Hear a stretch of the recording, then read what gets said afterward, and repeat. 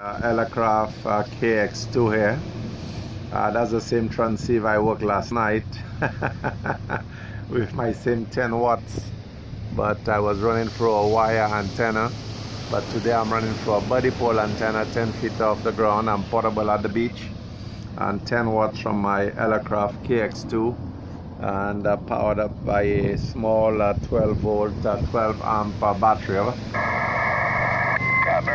It's doing really well. The KX2, the Buddipole. I guess it helps to be near the water, too. I'm sure your weather's better than ours. It's about uh, 40 degrees Fahrenheit, 45 degrees Fahrenheit, and raining here. Not a very good day. Yeah, well, I am at the beach and uh, we have some beautiful weather here and uh, some clouds up in the sky, but all in all, a beautiful day, right?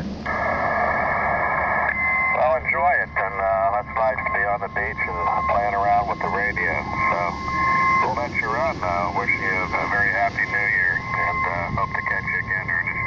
November 3, Alpha Echo. QSL November 3 Alpha Echo J69 Zulu. Uh, let me wish you all the best for 2019. Over.